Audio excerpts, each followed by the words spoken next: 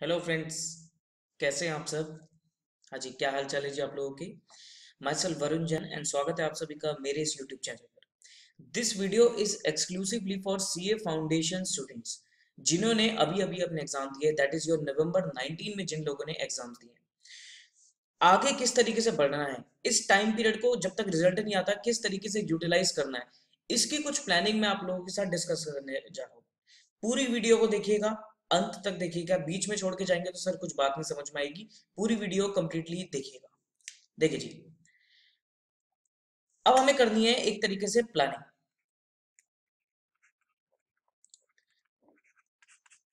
कि सर, अब जो हमारा टाइम है, क्योंकि रिज़ल्ट आएगा लगभग हमारा जनवरी के मंथ में जाकर। जनवरी पंद्रह के बाद, पंद्रह से बीस के बीच में आता है, लेकिन आप मान के चलिए पंद्रह के बाद आएगा। तो हमारे पास अब कितना टाइम पीरियड बचा है? नवंबर के दस पंद्रह दिन बचे दिसंबर पूरा बचा है और जनवरी भी आपका आधे से ज़्यादा बचा है। किस तरीके से हम इस पीरियड को यूटिलाइज करें, क्या हम इसको बिल्कुल वेस्ट कर दें, एंजॉय करें, घूमे फिरे, ऐश करें, सर, सब कुछ कीजिए, घूमिए फिरिए, ऐश कीजिए, कोई मनाही नहीं है। लेकिन एक प्लानिंग माइंड में होनी चाहिए, एक माइंड मेकअप आपको करके चलना पड़ेगा कि मेरे को अब आगे क्या करना है। प्लानिंग के लिए, सर, मैं अपने जो स्टूडेंट्स हैं, उनको तीन कैटेगरी में डिवाइड करूँगा सबसे पहली तो वो कैटेगरी जिन्होंने अटेम्प्ट अपना कर दिया स्किप सीए फाउंडेशन जिन्होंने क्या कर दिया जी? अपना अटेम्प्ट स्किप कर दिया, या फिर जिनको डाउट है, जिनको डाउट है, और जिनके मन में देखो एग्ज़ाम करके आते हैं तो हमें पता होता है कि हमारी परफॉर्मेंस कैसी रही है। जिनको डाउट है, जिनको लगता है कि सर मैं पास नहीं हो पाऊँगा, या जिन्होंने अटेम्प्ट स्किप कर दिया, उनके लिए तो सर कोई भी प्लानिंग नहीं है start your studies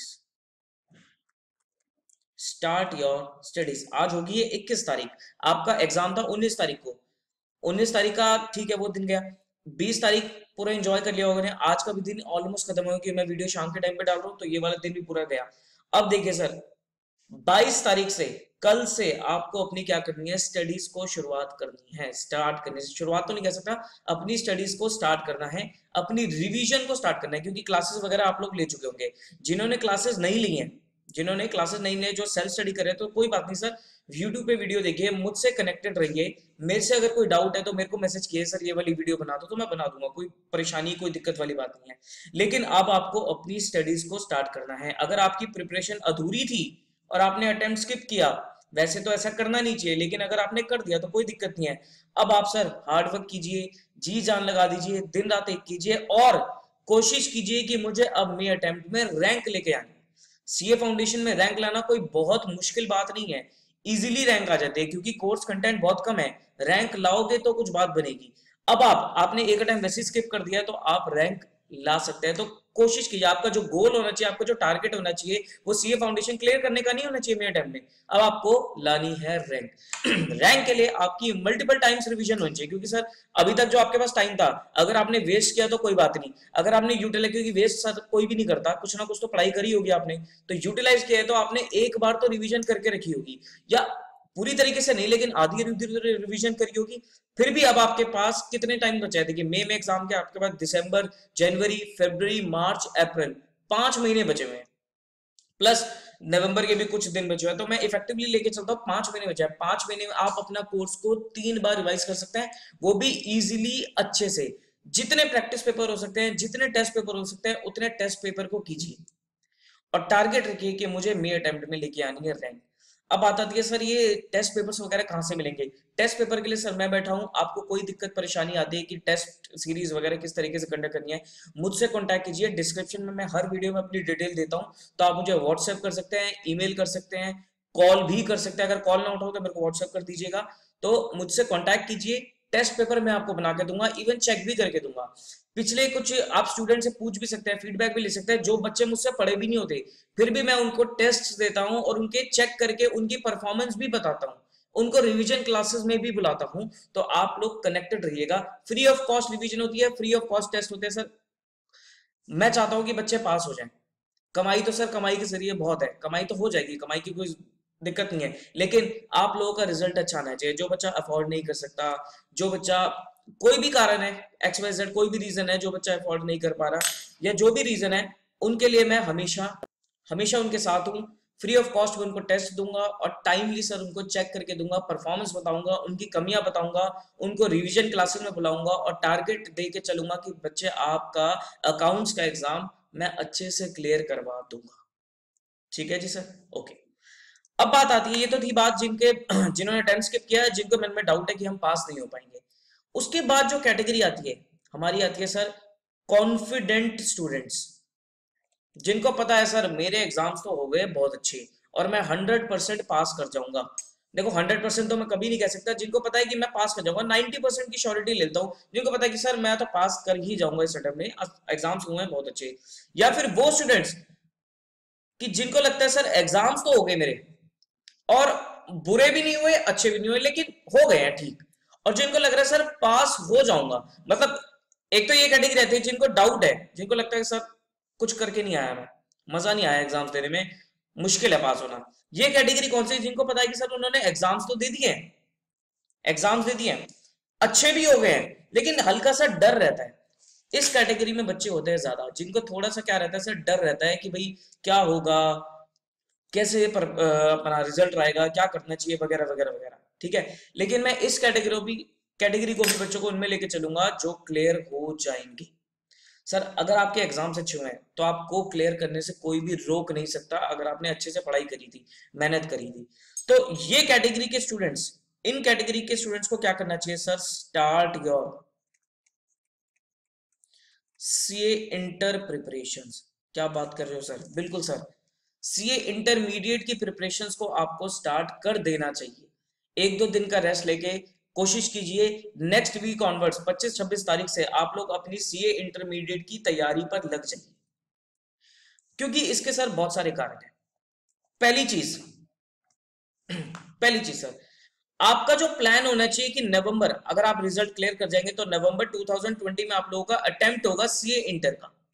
CA intermediate का आपका पड़ेगा अटेम्प्ट तो सर, आपको पहले से ही अपना माइंड मेकअप करके चलना है कि मेरे को सीए इंटरमीडिएट के नवंबर 2020 में बोथ ग्रुप्स देने बच्चे क्या गलती करते हैं? बच्चे रिज़ल्ट आने के बाद डिसाइड करते हैं कि मेरे को बोथ ग्रुप्स देने हैं और सिंगल ग्रुप देना है।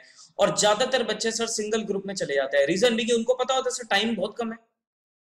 रिज़ल्ट आने के बाद आपके सिर्फ़ आठ महीने बचेंगे। और आपको पता होगा, सर, आठ महीने में आठ सब्जेक्ट करना मुश्किल है, इसलिए बच्चा शिफ्ट कर जाता है। सिंगल ग्रुप की तरफ़। सर, वो आठ महीने नहीं, यहाँ से काउंट कीजिए, आज से काउंट कीजिए, आपके पास है टोटल दस महीने। अगर आप देखेंगे तो सर दिसंबर टू अक्टूबर आपके पास इफेक्टिवली बनते हैं टेन मंथ्स और अगर मैं एग्ज़ाम रिज़ल्ट के बाद लगाऊ तो फेब टू अक्टूबर वो आपके बनते हैं सर आठ महीने।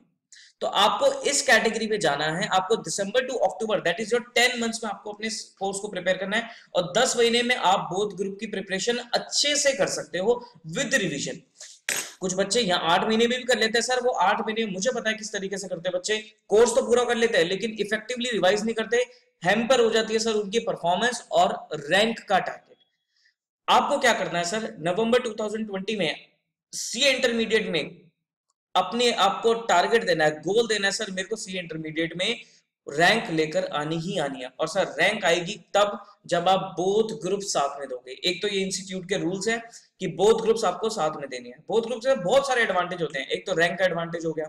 दूसरी चीज़ क्या होती है? बोथ ग्रुप में सेट ऑफ़ का बेनिफिट मिलता है। सेट ऑफ़ का बेनिफिट मतलब ग्रुप वन और ग्रुप टू जैसे कि आपको पता है सर ग्रुप वन में हमारे पास चार पेपर है। कौन कौन से? Accounts cost management accounting tax law और ग्रुप टू में आपके पास है sir advance accounts, audit E I S S M and F M को। सेट ऑफ़ क्या होता है? सेट ऑफ़ होता है सर, हर ग्रुप में आपको एग्रीगेट 200 200 नंबर चाहिए। इसमें भी पास होने के लिए 200 चाहिए, इसमें भी पास होने के लिए 200 चाहिए। अगर मान लो किसी रीजन की वजह से आपके ग्रुप वन में रह जाते हैं 160 मार्क्स और ग्रुप टू में आ जाते हैं 240 मार्क्स तो सर टोटल करके देखा जाएगा 50 परसेंट बन रहा है नहीं बन रहा। टोटल करके देखिए, ये कितना बनता है सर 400 और आप लोग हो जाएँगे पास लेकिन आप अलग अलग देते तो सर आपका ग्रुप वन क्या होता? यहाँ पर क्लियर नहीं माना जाता। आप लोग ग्रुप वन में रह जाते हैं। This is your set off benefit ये कब मिलेगा? जब आप बूथ ग्रुप्स देंगे। तो एक तो बेनिफिट क्या होगा सर रैंक तभी आएगी जब आप बूथ ग्रुप्स दोगे।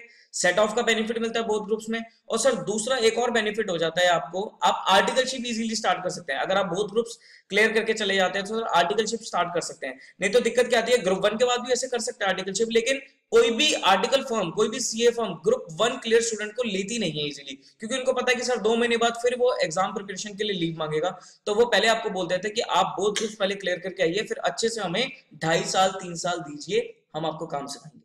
तो एक आर्टिकलशिप का बेनिफिट हो गया। और सर, एक और बहुत बड़ा बेनिफिट होता है, ये मेरा पर्सनली मानना है कि जो ग्रुप टू होता है, वो ग्रुप वन से कंपेयर किया जाए तो सर, थोड़ा सा टेक्निकल ज़्यादा है।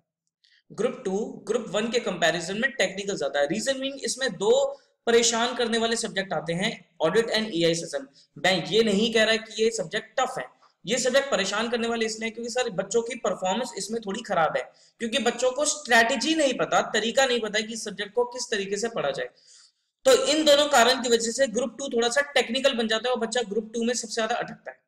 तो अगर आप सिंगल सिंगल करके देंगे तो सर ग्रुप टू वाली प्रॉब्लम फिर आपको फेस करनी पड़ेगी। लेकिन अगर आप दोनों ग्रुप साथ में दे देंगे तो ये वाली प्रॉब्लम आपकी एलिमिनेट हो जाएगी कि यहाँ की जो कमी होगी, वो आप यहाँ की एडवांटेज है, यहाँ की मेजोरिटी से दूर कर सकते हैं। ठीक है सर? तो आपको टारगेट ये रखना है कि नवंबर 2020 में I have to appear for both groups और टारगेट करके चलिएगा रैंक लेकर आनी है। ठीक है सर? ओके और अगर आपको बोथ ग्रुप की प्रिपरेशन अच्छे से करनी है तो आपको अपनी पढ़ाई को दिसंबर से मतलब दिसंबर टू अक्टूबर, यानी कि 10 महीने में आपको अपना कोर्स रिवीजन करनी है अच्छे से, तभी आपकी कुछ तैयारी बन पाएगी, तभी आप रैंक वगैरह लेकर आ पाएँगे। ठीक है सर? सर, ये इतनी सारी बातें आप क्यों बता रहे हो? ये इतनी सारी बातें इसलिए बता रहे हो क्योंकि सर, मैं खुद अब सीए इंटरमीडिएट का बैच अनाउंस कर रहा हूँ ऑन ट्वेंटी ऑफ़ नवंबर 26 नवंबर से सर एओसी में सीपी सेंटर पर मैं अपना बैच अनाउंस कर रहा हूँ। वैसे बैच की डिटेल्स मैं आपको डिस्क्रिप्शन में दे दूँगा। अपने कॉन्टैक्ट डिटेल दे दूँगा वेबसाइट वगैरह दे दूँगा। तो आप लोग मुझसे इंक्वायरी ले सकते हैं वेबसाइट पे जाके चेक कर सकते हैं। तो ये सब चीज़ें सर मैं आप लोगों को बता रहा हूँ। मैं कोई मार्केटिंग नहीं कर रहा इस वीडियो में। मैं ये नहीं कह रहा, आइए मुझसे बैच ज्वाइन कीजिए। लेकिन सर मैं आपको एक जनरल गाइडेंस दे रहा हूँ कि अब आपको टाइम वेस्ट नहीं करना चाहिए। अगर आपको बहुत ग्रुप्स करना है, चाहे आप सेल्फ स्टडी में कीजिए सर कोई दिक्कत नहीं है। सेल्फ स्टडी में पढ़ाई बहुत अच्छी होती है। अगर आपको बोथ ग्रुप्स का टारगेट करना है तो सर अभी से आपको अपनी प्रिपरेशन शुरू करनी पड़ेगी। कौन से स्टूडेंट्स जो स्टूडेंट्स सर कॉन्फिडेंट हैं, जिनको पता है कि हम क्लियर कर जाएँगे, या जिनके एग्ज़ाम्स अच्छे हो गए, लेकिन थोड़ा सा डर है। एग्ज़ाम्स अच्छे हो गए तो सर आप भी पास हो जाएँगे। ठीक है सर तो ये तो बात थी इन स्टूडेंट्स के लिए कि इनको अपनी स्टेट अवेज सी इंटरमीडिएट की तैयारी को स्टार्ट कर देना चाहिए। और जो स्टूडेंट सर अटेम्प्ट स्किप कर चुके हैं, या जिनको लगता है कि पास नहीं हो पाएँगे तो सर टाइम वेस्ट मत कीजिए। कल से ही अपनी सीए फाउंडेशन की प्रिपरेशन को स्टार्ट कर दीजिए। कोई परेशानी, दिक्कत हो तो सर मुझसे कांटेक्ट कीजिए। टेस्ट सीरीज़ के मुझसे कांटेक्ट कीजिए। कोई रिवीजन वीडियो चाहिए किसी टॉपिक के रिगार्डिंग तो मुझसे कांटेक्ट कीजिए सर। सारी चीज़ें मैं आपको आराम से प्रोवाइड कराऊँगा। लेकिन सर आपको मुझसे बात करनी पड़ेगी, मुझे बताना पड़ेगा। ठीक है सर? सर, मेरा फ़ोन नंबर वगैरह वो सब कुछ आपको डिस्क्रिप्शन में मिल जाएगा। ठीक है सर? सो ये कुछ बातें थी जो मुझे आप लोगों के साथ इस वीडियो में डिस्कस करनी थी। सो आई होप ये वीडियो आप लोग को पसंद आई होगी। अगर पसंद आई है तो सर, इस वीडियो को लाइक कर दीजिए। इस चैनल को अगर अभी तक आपने सब्सक्राइब नहीं किया तो चैनल को जल्दी से जल्दी सब्सक्राइब कर दीजिए और वीडियो को ज़्यादा से ज़्यादा शेयर कीजिए। ठीक है जी? चलिए फिर, मिलेंगे अगली वीडियो में। Till then take care of yourself bye